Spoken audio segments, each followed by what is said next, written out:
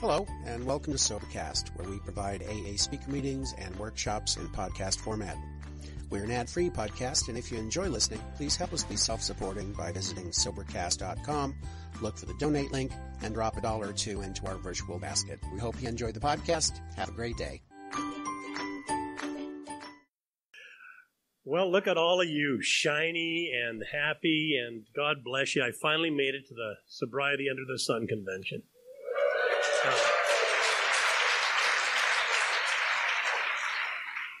Took me a long time. I'm 65 years old now.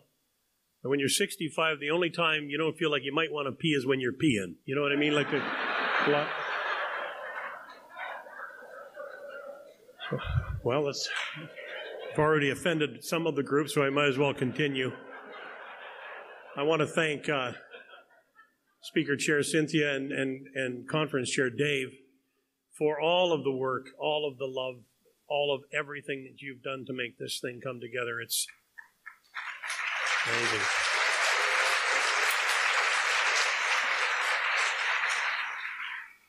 And uh, it's always wonderful to see signers for the hearing impaired. Frankly, most of us in this room are hearing impaired. Well, two more offended. So, anyway. okay, can you hear me all right? Can you hear me at the back of the room? No?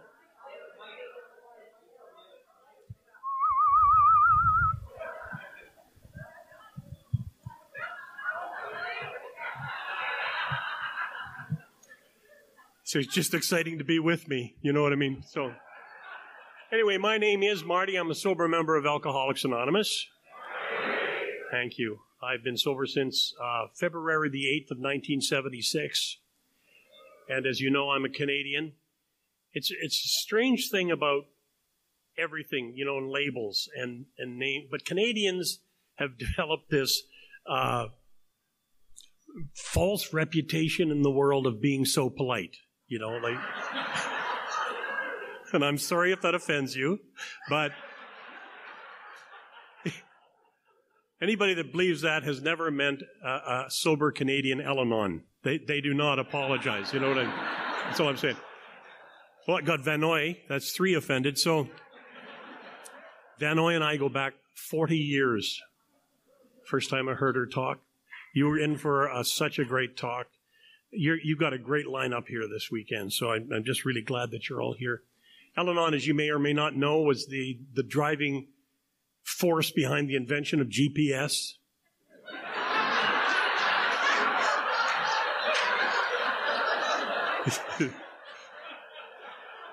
you get in the car and, and uh, it just says turn left, turn right, turn left. You turn right anyway. It doesn't even say anything. It just releases with love. And, uh,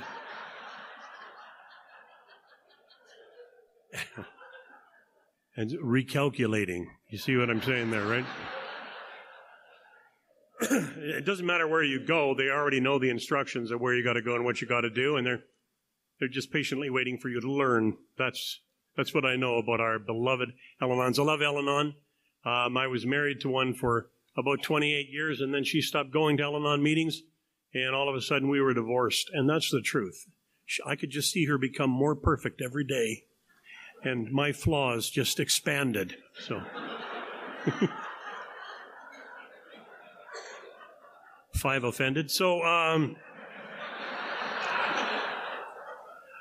I, uh, I've been sober a long time, obviously, almost 42 years, 42 years next month. And I think personally, and some of you, thank you. Yeah. Little round of applause for God. Um, I, uh, I, I just think AA is better today than it was back then. And like for example, when I sobered up, they almost encouraged your sponsor to lie to you, and when we're trying to discourage that at this point.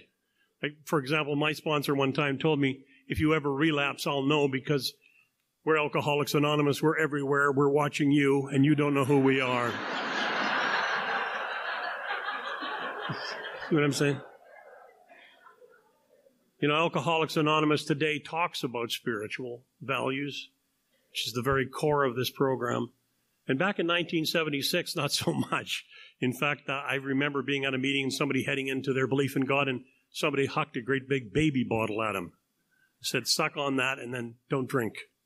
And, uh, that don't drink thing only works for a while and then you got to start doing some other stuff about shifting where your will is operating from. And we're going to talk a little bit about that tonight. And so, um, I would, I did not come to Alcoholics Anonymous because I was, uh, uh, homeless or anything like that. That that was not my experience. I had a job. In fact, about 80% of the people that come to Alcoholics Anonymous have jobs and wives and cars and husbands and and uh, and we're called functioning alcoholics, whatever the hell that might be. Um, and, and so what happened to me was that I have this nosy sister. She's a real bag, and. Uh, Yes, one resentment still left to work with here, but she, my, my sister never had a drinking problem. My brother Michael's an alcoholic, recovered in the program of Alcoholics Anonymous. My late brother Paul was a member of Alcoholics Anonymous. I'm a member of Alcoholics Anonymous, and she just sticks her nose in everybody's business. That's just what, you know, that's just the truth. That's just how she meddles. And so I was coming off of a bender. You know, I'd sworn to God I would never drink again, as, you know, most of you might have done at some point in your drinking. I made a deal and I said to God, if you could get me out of this mess that I'm in right now, I, will become a, a, missionary in Africa. I know you're waiting for me. And uh, so, so what happened was I went to work and, and it would, it had been a bad night. I mean, there was, I remember there was a gun. Do you, do you come in and out of blackouts? Yeah. Like you wake up in front of the, on, riding the pony in front of Walmart. You know what I mean? anyway, I, I, as this night was racing through my mind, I remembered there was a gun and there was a girl and there was a bare breast, and then, but it wasn't one of ours because although I only had faint memories of what that was about because I my drinking had really taken on a, a dynamic as it, as it does for many people at the end of their drinking. It was just it was just relentless, and so. Uh, when I came to, I, these these things are going across the screen of my mind, and I was thinking, oh my God, you know, how am I going to get out of this and, and that? And, and so I made this prayer and, and, uh, and, and then I went to work and, and, and they were taking a guy down the hallway at the radio station I worked at in handcuffs. And apparently he had a gun out. And so I hadn't hallucinated it. It was a real gun. And, uh, and I got called in the president's office and he told me, you know, you're a very artistic, talented guy. We, we have great hopes for you. And if you ever shove a pizza in my face again, I will pound you to a lifeless pulp, you know. And uh, I, I, had no memory uh, of a lot of these things, just bits and pieces. And and so basically, by the time my shift came, I was a broadcaster back in that day. Uh, by the time my shift came, everything had settled down. Is, is that that just happens over and over and over again in the life of an alcoholic? You know, like seemingly non resolvable situations just evaporate. And so I thought to myself, about four o'clock in the afternoon, even though I made this deal with God, uh, I've had a lot of stress. You know, I mean, like, uh,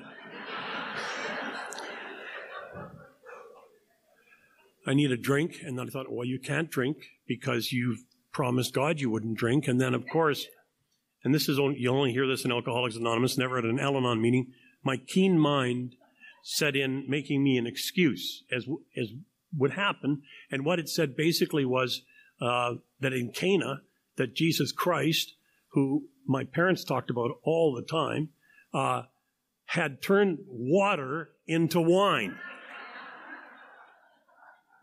God wants us to drink wine. It's what was I thinking about? And so I went over and I had uh, I had a, a drink of wine and Seven Up. That's normal, right? And uh, we used to call that porch climber where I came from. But by the way, where I came from in, in, in Canada is the middle of Canada. And I think just about everybody in this room is from Canada. They flew 2,500 miles to hear an idiot they won't walk across the street to listen to at home. That's just kind of how it works.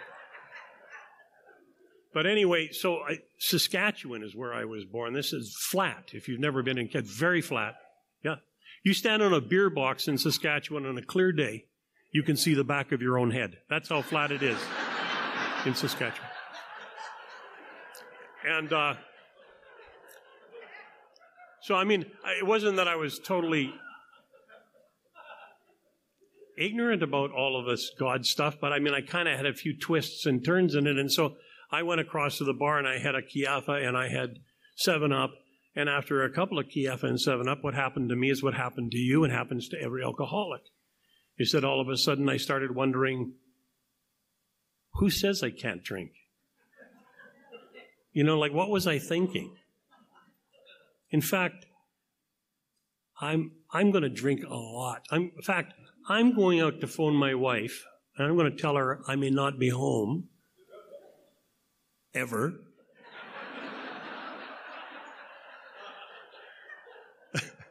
It's just heartbreaking when they say good.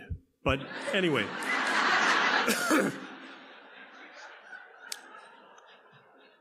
so I got very drunk and I went out and uh, I was with, uh, I was a, a, radio broadcaster and I was with the television weatherman. His name was Jim McCrory. He was my best friend. And we started pushing each other because there was nobody else to fight with and we were just pushing one another. And all of a sudden he threw me into a parking meter and I hit my back. And I said, you little bugger. And I grabbed him and I threw him right through a bank window. Yeah, that's what he said. and, uh, I don't know why cops can get there so fast when you're in the wrong, but they can. And the next thing I know, I've got a pistol in my face and uh, one of Saskatoon's finest telling me to get down on the ground. And uh, I'm saying, you're overreacting. I, uh, we're just drunk. And, uh, you know, I'm not exaggerating when I tell you that that was the rationale for a lot of my drinking. Was I, and and it, no matter what the behavior was, I was just drunk. I didn't mean it. Well, if you did it, you meant it. This, one of the difficult things I find in Alcoholics Anonymous is to get people to own what they're doing and match a result to it. It's sort of like, I did all this and now mysteriously my life is unraveling. Why? You know.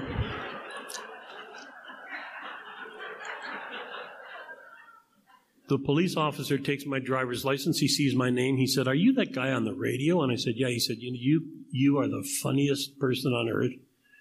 And then he gets Jim. Jim's all cut up, and he's in the bank. And he says, "Well, there's no reason. I'll, I'll just call the bank manager, and well, I know you guys weren't trying to rob the bank or anything." So they put a big piece of wood in there. So now maybe it's four o'clock in the morning. I'm alcoholic. I'm thinking, this is it. Like there's got to be more than this. So we head for the car. And Jim, again, is all little piece shards of glass in his head and everything like that. We get in the car and I say to him, you know, I haven't got any money. Have you got any money? He said, no. I said, well, then we're going to have to go over the top of the parkade. He said, I'm on.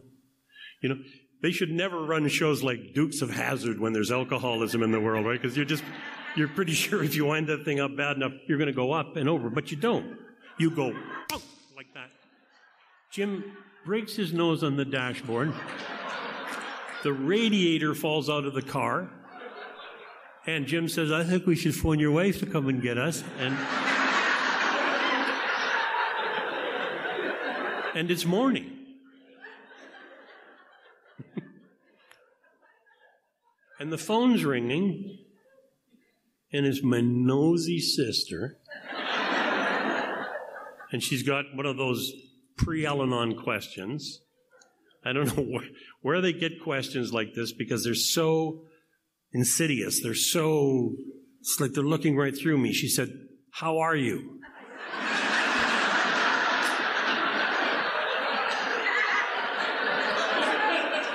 How much does she know, right? Like, what does she know? What is, what is she saying? Like, how are you is an esoterical question, or is she saying, like, how are you? Or does she know something and I'm supposed to admit it?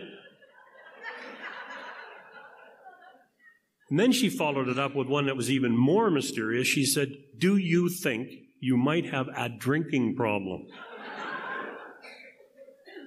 no. Nobody could drink with me. I could drink better than anyone. I had no problem drinking whatsoever. She said, Would you, if I send a, a, a man over from Alcoholics Anonymous, would you talk to him? And I thought, man, I haven't got enough trouble. Now I got to help some guy from Alcoholics.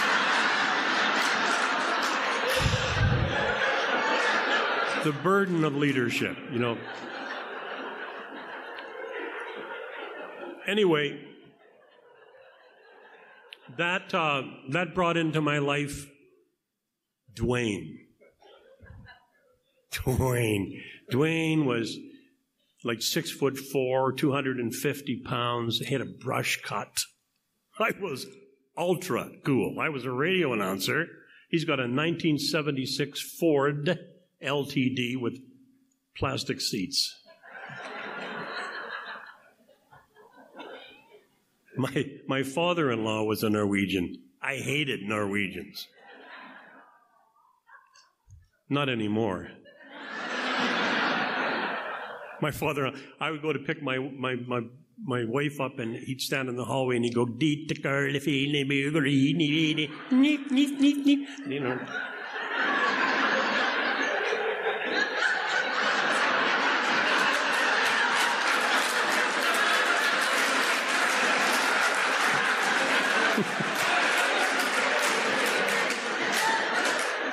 Okay, so our signer's Norwegian, big deal. So.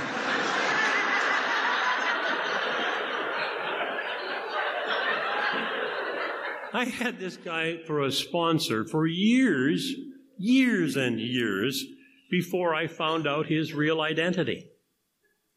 They finally came out with a movie, several movies in fact, all about his life called Shrek. And I've got people from my home group here tonight, and I, I promise you, this guy looks just like Shrek, doesn't he? He does, know? And so somebody said to me one day, doesn't that offend him when you, you call him Shrek? And I, I said, I don't know. But I, I do know the last time I talked, his name tag said Shrek on it. That, that I do know. Anyway, so this guy shows up, huge, and he lies, like I told you. And, and he comes in the house and he says, Let's go and have a coffee. Why? you know that Alcoholics Anonymous does not sort of, it, it isn't clear to you when you first get here. You don't know why they're doing these maneuvers. But he wanted me to go to the A and W, sit in his car with him. I know. And I, honest to God, I didn't know, I didn't, couldn't get away from him, so I got in the car and we went to the A&W, and he had read that chapter in the book of Alcoholics Anonymous called The Family Afterward. And he had read the chapter in the book Alcoholics Anonymous called Working with Others, in which it said if your man is not very serious about anything, tell him some funny stories out of your past. So he started to talk about these things that he had done, horrible things. And I don't know if you're an alcoholic of my variety, I can out horrible you on any Good Friday. You see what I'm saying here? I really believe if you went to a meeting of Alcoholics Anonymous and said you made love to a zebra, somebody would say, well, at least the one you got was a female, you know.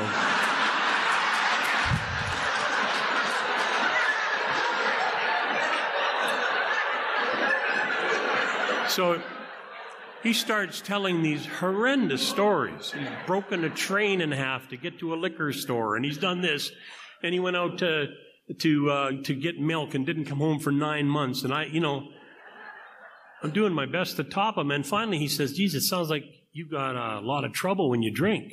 I thought, "Oh man." I went right alcoholic. I am going to kill my sister because she's sick. This goon on me now. He knows all my secrets. He knows where I live and he's Norwegian, so he, you know, he's never going to figure his way out of this.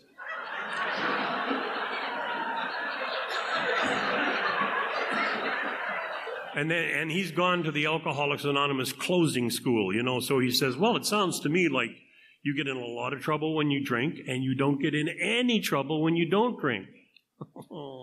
Why don't you just not drink? I said, good idea. I'll just do that. He says, No, you won't. So here, here's, uh, by the way, in 1976, step one was shut up, get in the car. That's, there wasn't a lot beyond that. So I, I, I said, you know, I really appreciate your time. He said, just hang on. I'm going to pick you up for a meeting in the morning. I said, What kind of a meeting? And he said, A, a meeting of Alcoholics Anonymous. Now, he said, I can't tell you you're an alcoholic. says that in the book. But I really would suggest you come to this meeting. I'll pick you up at 10 o'clock. So I left the house at 9 o'clock. And he was outside waiting for me in, in the car. right? And he explained to me when I got in the car that here and there newcomers will try and get away on you, that you have to kind of go a little early sometimes. And we went to a meeting of Alcoholics Anonymous. It was in the back of a restaurant. And I was saying to people who were just having breakfast, I'm not an alcoholic. I'm with an alcoholic. But I don't have it. And so, and he's saying, You are embarrassing me. Shut up already. I was going, You're, I'm embarrassing you. you know? So,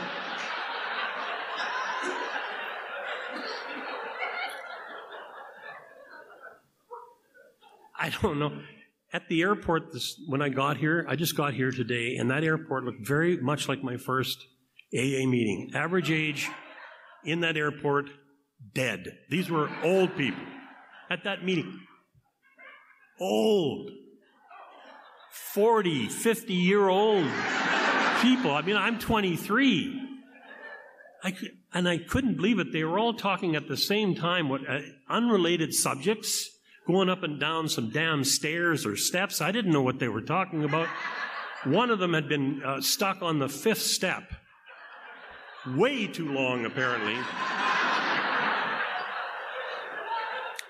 And another one said, if you don't get off that fifth stair, you're going to get drunk. So I'm thinking, where is the fifth stair?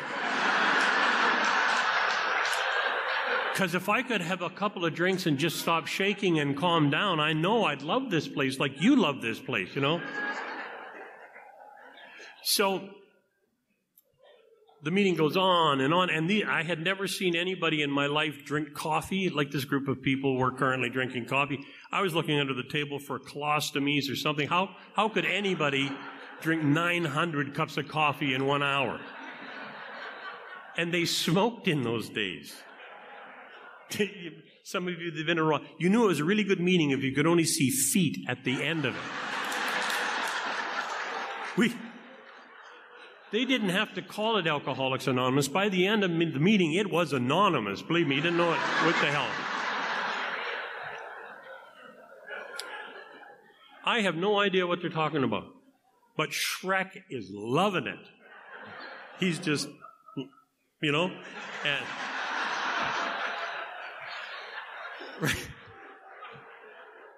So the meeting ends, and this really old one looked like he'd been sent out to be wrinkled.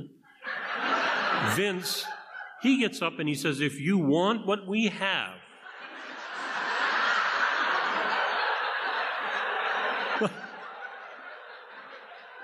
I really don't want what you have. He said I had to be ready to go to any lengths to get it. And if I didn't, I'd either end up in an insane asylum or dead. So I thought about that and I said, well, I'll, I said to Shrek, I'll take dead because I don't, I can't do this. You see what I'm saying?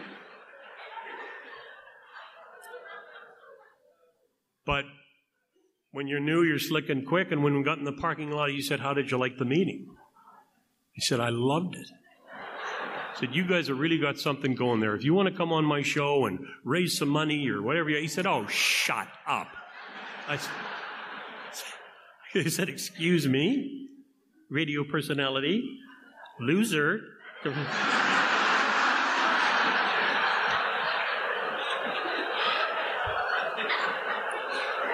He said, You're an alcoholic. I said, Whoa, whoa. You told me last night you couldn't tell me I was an alcoholic. He said, That was last night.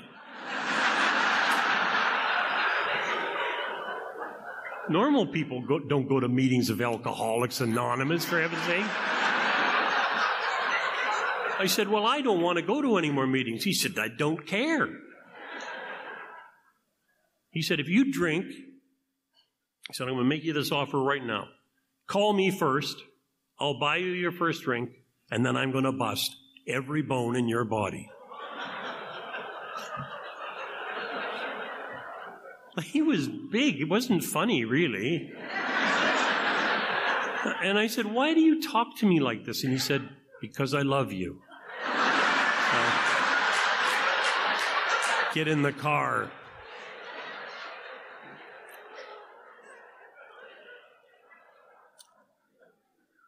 Shrek taught me everything that I needed to know about people who are not particularly interested in what I think. Because I would get in the car and I would say, you know, blah, blah, blah. And he'd say, you know, don't care. And I said, you know, I really don't like you. And he said to me one day, that is so weird because I really like you. And he'd come to my house all the time. It was weird, you know. You'd open the back door at 8 o'clock in the morning and Shrek would be standing there with a coffee cup. I thought you were going to sleep all day. Like, get a life. At his 40th anniversary, they asked me to come and share. And I went on and on and on about the sacrifices he'd made for me and the time he spent with me. And he got up and he said, What a bunch of crap. He said, I didn't care about him. I was fighting with my wife. I just couldn't go home. That's, I didn't care about him.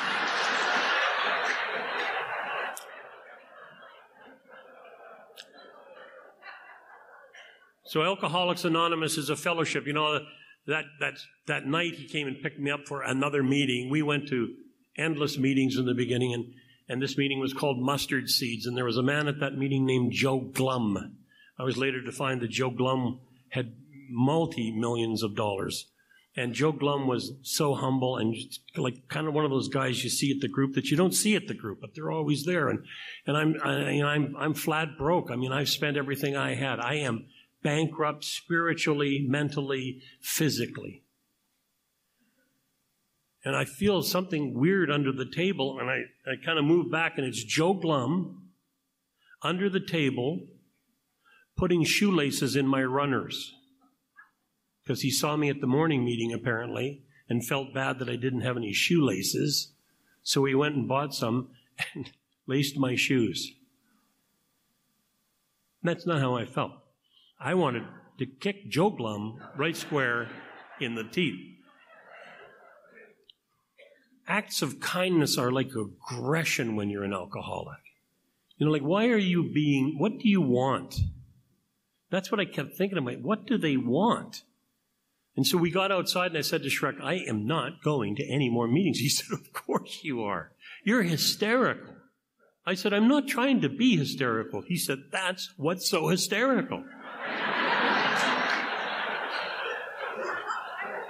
And he said, I'll make you a deal. You go to 90 meetings in 90 days. You see, there is the program of Alcoholics Anonymous, and it's in a book called The Big Book.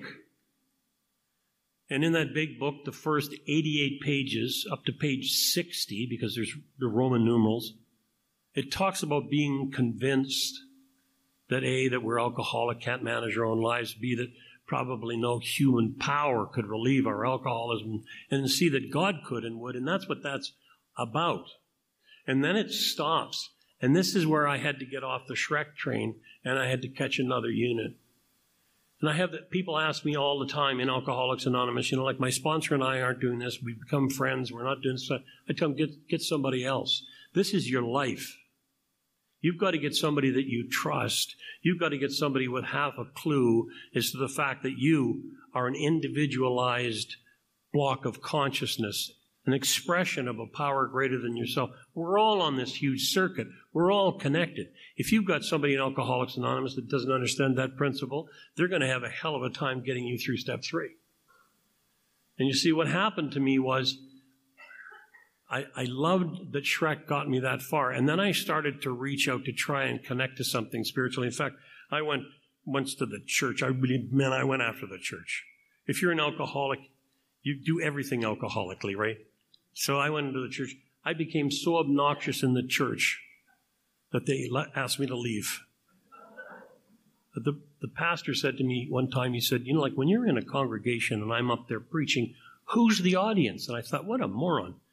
We're the audience. You're preaching, we're the audience. He said, No, God is the audience.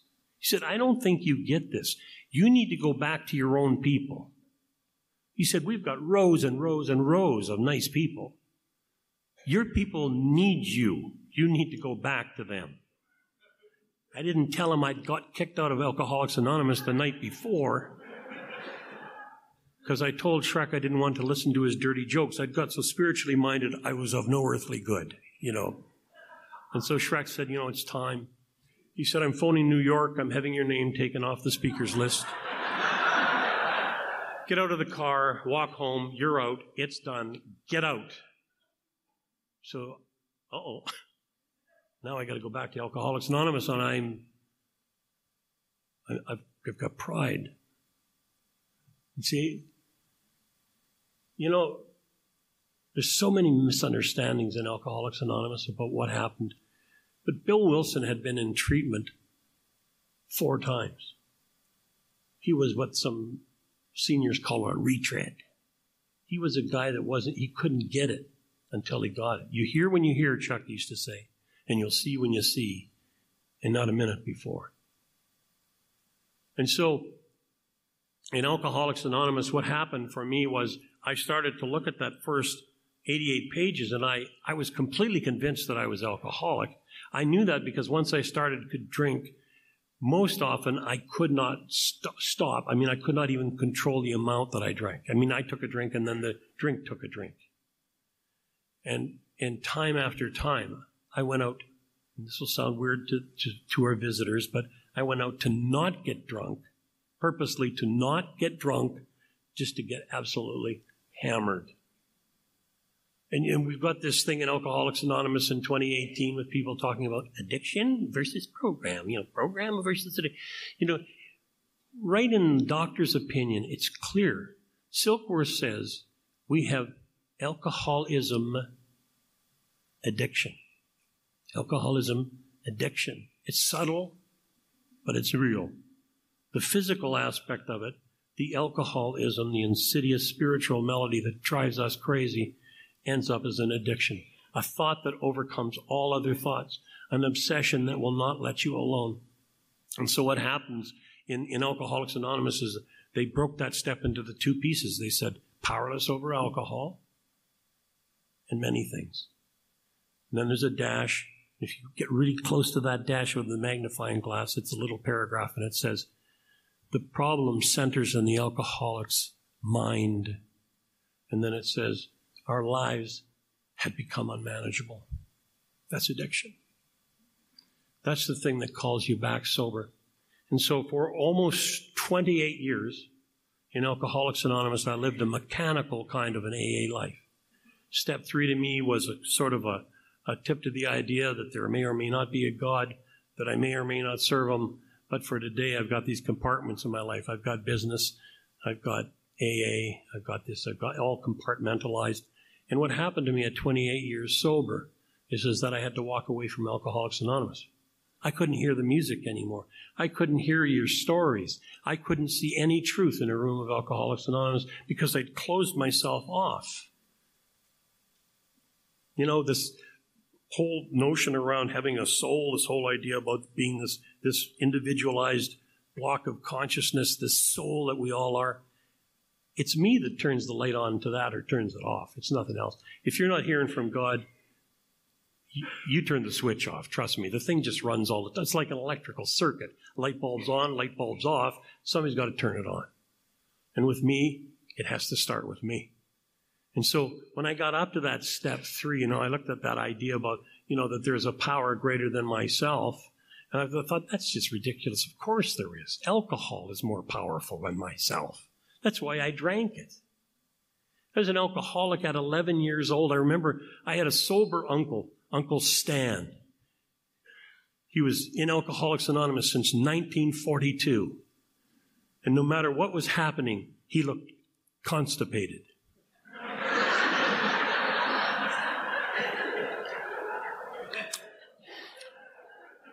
And then I had Uncle Sam, and he was a drunk, and he'd get one eye closed, and he'd, he'd talk about being in the Navy and all the things he did in the Navy. The only problem was Uncle Sam was he was in the Army. he was a decorated Canadian war hero in the Second World War, but when he was drunk, he was in the Navy. He just thought Navy guys were cooler or something. I don't know what it was, but he get one eye closed. And he said, I was 143 pounds soaking wet. Ask your mother. My mother didn't even know him when he was in the army. And I thought, boy, if I ever drink and get that one eye closed, I'm done. My wife said to me one night, I'm okay until that eye of yours closes, and then I just, I can't, I can't stand it. So I thought to myself, fine. If I ever get both eyes closed, I'm done. So when you're doing that type of a program in Alcoholics Anonymous and you're in a room like this tonight and you're 12 years sober, or you're 18 years sober, or you're 7 years sober, and you got that dirty little secret, not working for me anymore. You know, and, and you're thinking to yourself, well, I've done it all. I know exactly what I've done. I know everything that there is to know about Alcoholics Anonymous. You may. You may mechanically be the most brilliant person in this room. But the problem with the big book is the stuff that's written in the big book that matters is all spiritual. You can't see it through physical eyes. And so what I did in Alcoholics Anonymous at 28 years sober was I walked away from Alcoholics Anonymous. I was a guy that used to talk all over the place and I stopped and I didn't talk for six years. I didn't drink, but I can honestly tell you it was like being in a forest with a compass that didn't have any numbers on it. I couldn't tell right from wrong, up from down. I everything that I destroyed in my life, I destroyed in those two years I didn't go to meetings in, in when I lived in D.C., Washington D.C. And what, oh, how could that possibly happen to somebody? And the answer is, is that when you start to think that you know all that there is to know, that's when you need to find somebody to help you. Because you can't possibly know all that there is to know. So when I went back to the book and I opened it up, and the AA fairy had been in my big book. You know this this thing that happens. You know, there's a guy, there's a, a, a psychiatrist named Tiebout who talked about hitting bottoms. Bottoms. This is when you you finally realize I cannot of myself fix this. That's when you hit a bottom. It can happen when you're drinking. It can happen when you're sober. And our bottoms are also transparent. You can see through the bottom you're at to the bottom below and the bottom below and the bottom below. And somehow you think to yourself, that'll never happen to me. And every week, you know, they read the death scrolls of the ones that were thinking the same way you were. We've all seen way too much attrition in Alcoholics Anonymous because we're so busy standing in the room saying, when's somebody going to do something for me? And Alcoholics Anonymous says that as long as you're saying that, nothing's ever going to happen for you. But the magic of Alcoholics Anonymous is inverting that selfish, self-centered drive to say, who in this room needs me to talk to them right now? How do I come out of my selfish, self-centered, fear-driven self toward this whole nonsense around love? How do I just do that? And the answer is repetition. You just do it and you do it and you do it until your mind finally says, oh, this is what I do. Wednesday night, I go to Lions Group. The Lions Group, there's an assorted group of lunatics. Our, our meeting will unravel at a different speed every week. The same crazy people will be crazy. There'll be newcomers mysteriously attracted to something they don't understand and definitely don't want. Go talk with one of them. We actually had to create a position in our group to make it official so that people do get talked to after meetings because it's so easy just to get into that clutch. You know, you know, you and your friends, you all have BO in one corner, the stinkers all in one corner talking with the other stinkers.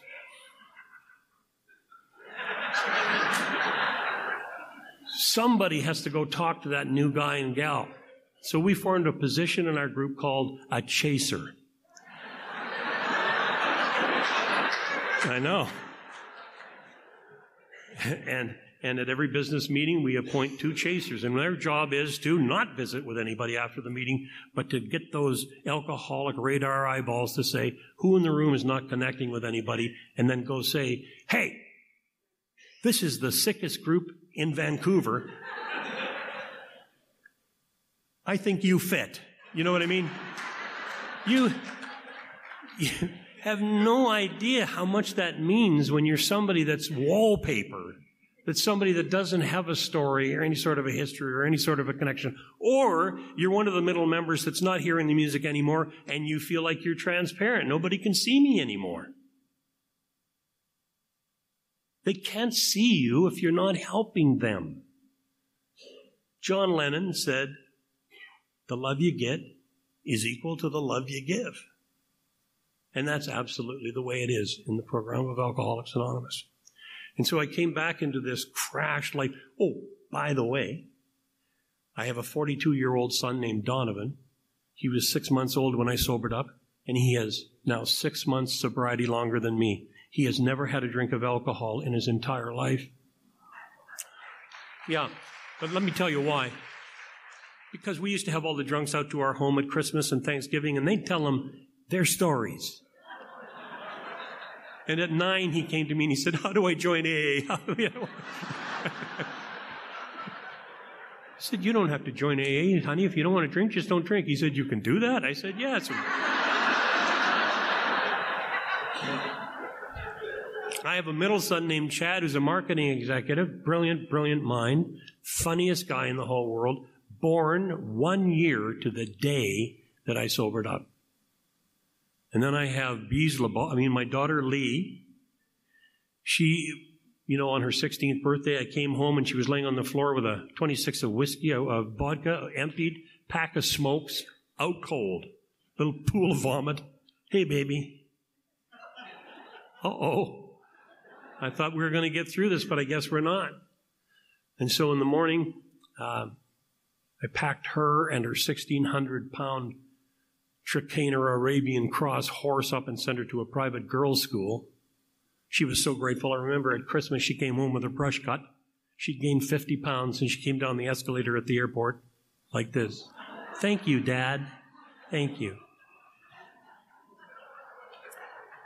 When she got back home, and this is the thing about love. Like you can't stop at any quarter. It doesn't matter what they're saying to you right now. It doesn't matter if the people you're sponsoring love you and talk behind your back about how wonderful you are. Never mind any of that crap. You just keep taking that love to them, taking that love. Like Shrek, he said, I don't care what you think of me. You're an idiot. Why would I care what you think of me?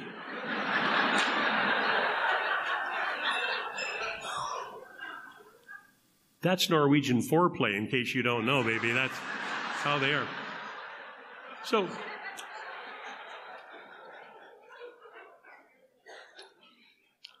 this time I run up to it and I look at the decision and it says, I made a decision to turn my life, my will over to the care of God. And I thought, well, yeah, I've done that. Yeah. No, I hadn't done that. Because it asks a very interesting question. This is for all the go getter course attenders. And I was teaching courses by this point, by the way. Every motivational teacher you've ever heard of, I worked with, I think. I was talking to crowds of 14,000 people. I couldn't get enough of me. But the reality of it was dead, dead, dead, dead, dead. Nothing. No eyes, just physical eyes. The big book had turned into a big, dusty, old, voluminous, stinky old book. And so I come back to it, and it says in there, it's not about making a decision, you moron. What it says is, do you now accept that any life run on self will can hardly be a success? What? Self will is how I live. I was brought up that if you don't do it, it ain't going to get done. I got to push, up, push, up, push, up, push, up. I used to treat people terribly in business and then go to AA at night and say, let go and let God. I never let go of anything in business. I didn't think God could run a business. Look what he did with his own. See what I'm saying? I figured if, if God's a franchise, he has no knowledge of what he's doing. Believe me, what a mess. I don't want him messing in my business. I don't want to think people to think of me as a religious fanatic. And so I distanced myself from all of that and I got to work putting all the material world blocks together, form, time, form, time, build, build, build, build, build. And I built myself quite a little empire, millions of dollars. I had a ranch. I had thoroughbred racehorses. I had these three kids. And then it just came to a place where God said, you know, time's up. You're so smart. Try it on your own. I left Alcoholics Anonymous. And what happened was complete destruction of everything. I lost a marriage of 31 years. I lost connection with my kids. I lost millions of dollars. The good part was I got a girl pregnant. Sir, you look like that's not a good thing back there. That you have not lived until you have phoned your 34 year old daughter to tell you, tell her, you know that little brother you wanted?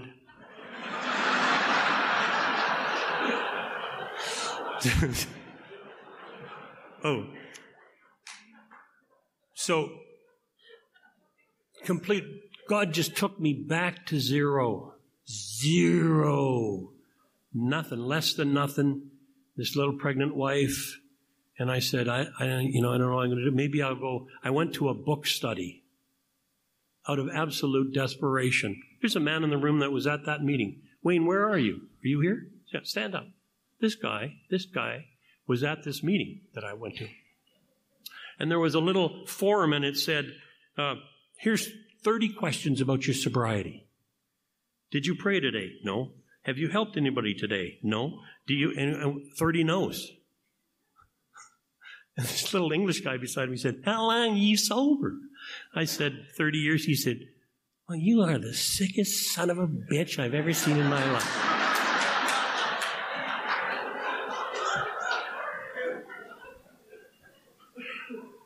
That's sort of like God saying, Welcome back, stupid, you know? Just wanted to finish up on my daughter. You know, the interesting thing about that alcohol in the school and all that stuff that went on, was one day, I don't know why, she said to me, Dad, take me to a meeting of Alcoholics Anonymous. You know, if you've got kids and you're worried about your kids, the scariest thing in the world that they can say to you is take me to a meeting. Because you figure if you smile, you're going to screw it up. If you don't look excited, you're going to screw it up. It just, I didn't know what to do. So I said, okay, and walked out of the room and, and I took her to a meeting in a place called Sylvan Lake, Alberta. There's one car in Sylvan Lake, Alberta. Everything else is a pickup truck. Average age 50, all males. And I take her to this meeting, and I'm thinking, I don't know, what could she possibly hear here? But it's the only meeting tonight. She's 18, 19 years old. I walk down the stairs of this old boys club, and there are kids 20 year olds, 19 year olds. There must have been 20 of them at this meeting of these old geezers. And I was like, wow. So I sit my little daughter down and they say, would you like to say something, Darren? And he goes, well, like, I don't know, I, um, like, um, sort of, you know, like, like, um, I can't really say that. So I think that's all I got. And I look at her and she goes, wow.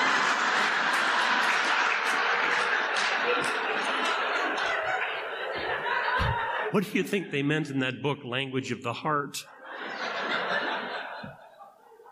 I don't speak adolescent anymore. I, I don't understand anything those kids were talking about. She got it. She has stopped drinking. She doesn't drink. She doesn't go to Alcoholics Anonymous. She doesn't drink. So I got a 42 year old, 40 year old, a 38 year old, and an 11 year old. I know. That's a, really good. So I have them out in the out in a, a, a little push cart one day when he was a baby, and a woman says, Oh my God, what's your grandson's name? And I said, Declan. She said, Hello, Declan. I said, No, his name is Luca. She said, You just told me his name was Declan. I said, No, my grandson's name is Declan. That's my son, Luca. And she went, Oh, oh, oh.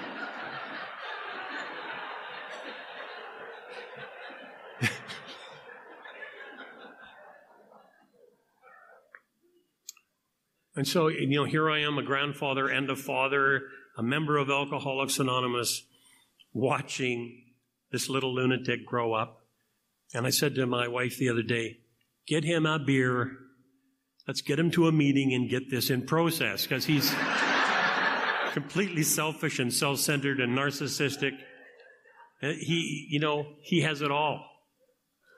You see, I think what we don't, at least what I didn't understand in Alcoholics Anonymous is that alcoholism will kill you drinking or not drinking. It's a progressive disease, drinking or not drinking. It is alcoholism addiction. So I come into Alcoholics Anonymous, I'm sober 15 minutes, I go to Shrek and I say, I need to know what's really wrong with me. He said, What, what do you mean? You're a drunk. I said, No, no, no. I know medically what's wrong with me. Oh, God. I said, I don't want to listen. You guys are all just a bunch of, you know, amateurs. I want to talk to somebody who's got a degree or something. So he sent me to this guy named Bob Cruikshank. And I go to Bob's office, and Bob says, How can I help you? And I said, I've been with this Norwegian, and uh,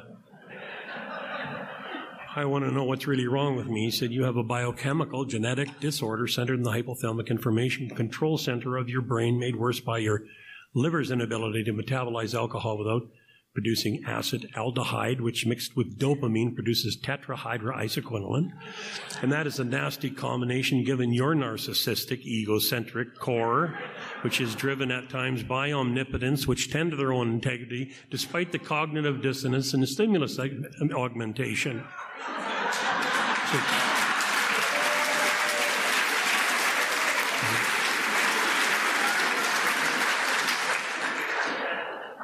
I said, What does that mean?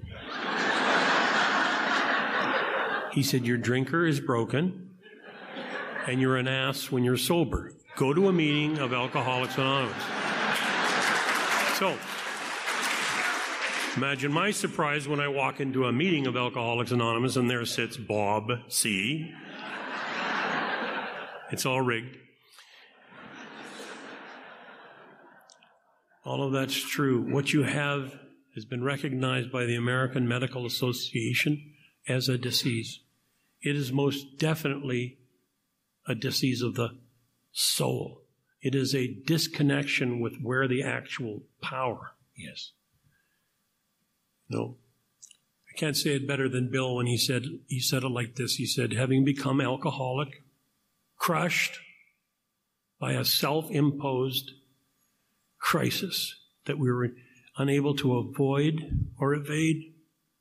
We had to fearlessly face the proposition that either God is everything or He is nothing. God is or He isn't. What is your choice going to be? He said, arrived at this point, we're squarely confronted with the question of faith. We couldn't duck the issue. And many of us had come far across the bridge of reason toward the desired shore of faith. The outlines and the promises gave luster to tired eyes and new courage to flagging spirits. Friendly hands were outstretched in welcome. We were even grateful that reason had brought us so far, but somehow we just could not step ashore.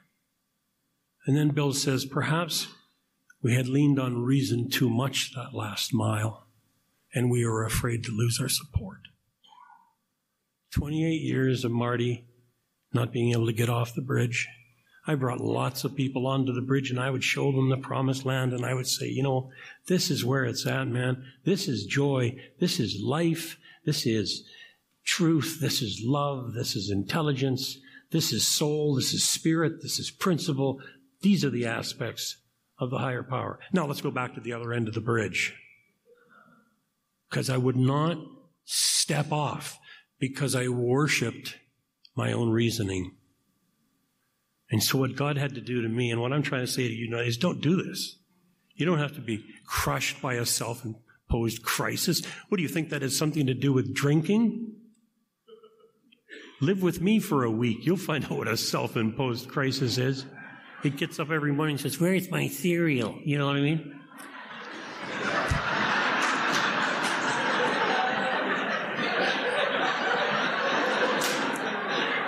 this, this little human ego with hair and eyeballs has been, he's been testing for the last month to be the, the actor who is the son of David Duchovny in the X Files. So he's a little actor and he's obnoxious on every possible level. And he's just like a newcomer. You know, look at me, look at me, look at me, don't look at me, don't look at me, look at me, look at me, look at me, don't look at me, don't look at me. Why aren't you looking at me? Yo, you're looking at me, you're looking at me.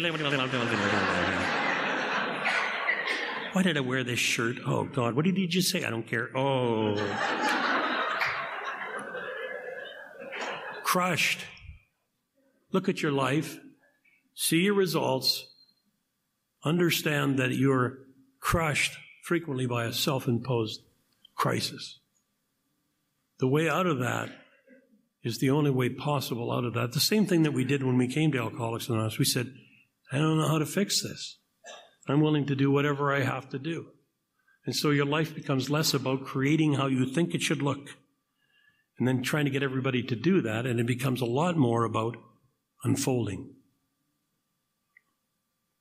I was talking to Mari a minute ago. Mari, I don't know how many times a month Mari speaks. She's every time I look at a, a ticket anywhere, Iceland, Mari, you know, Venus, Mari. She speaks all the time, and and you know, I don't. She's way over fifty, and uh,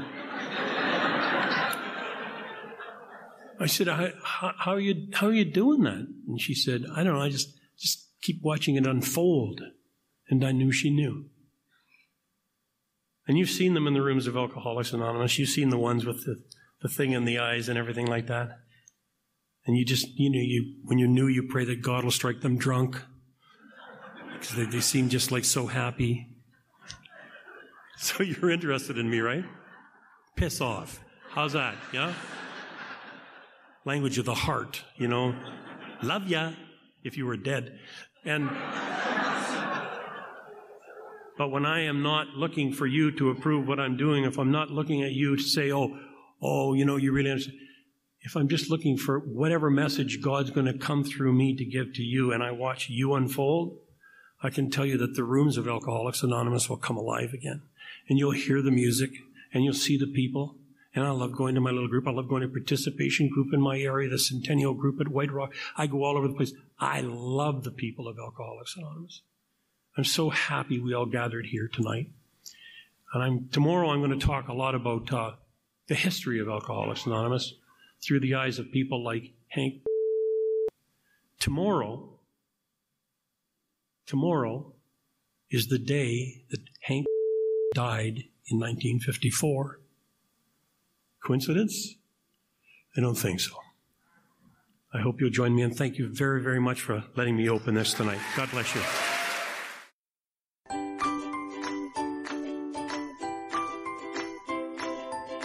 Thanks for listening. I hope you enjoyed the podcast. Sobercast is ad free, and we'd like your help in order to keep it that way.